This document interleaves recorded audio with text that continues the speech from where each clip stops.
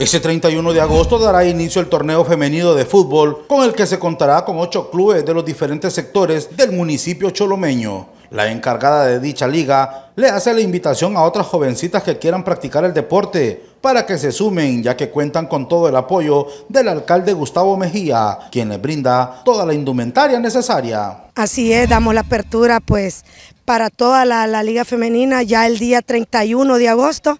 Arrancamos con la inauguración y con lo que es ya el torneo 2023-2024, en el cual hay cinco equipos este año y gracias siempre a la máxima autoridad por el apoyo hacia la Liga Femenina, damos inicio el 31 de agosto. Siempre el profesor Gustavo Mejía está siempre prácticamente apoyando todas estas ligas, asimismo incitando a los jóvenes que sigan practicando el deporte. Sí, así es, siempre todos los años él se pronuncia de igual manera con las premiaciones, se les ha equipado de implementación a todos los equipos que han participado en la liga, se les ha dado implementación, lastimosamente tenemos un problema de que las personas no quieren jugar el fútbol profesional, actualmente contamos con unos equipos nuevos, gracias a Dios, y estamos muy orgullosos que son equipos de aquí de Choloma. ¿Por qué no quieren ellos seguir participando en algo profesional? ¿Será que no les gusta que les exijan?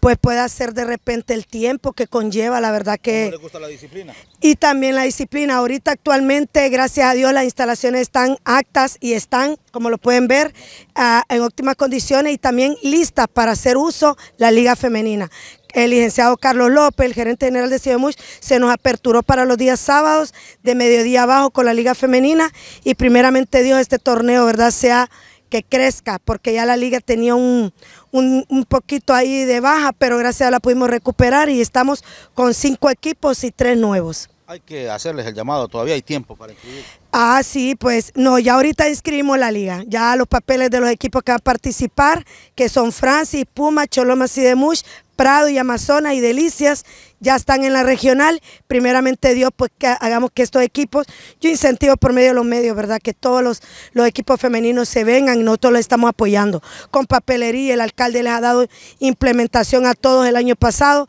No hay excusa de que no haya porque no hay esto, que no hay lo otro, porque la cancha está al 100, nos la han dado para el uso y a un costo mínimo. Pues.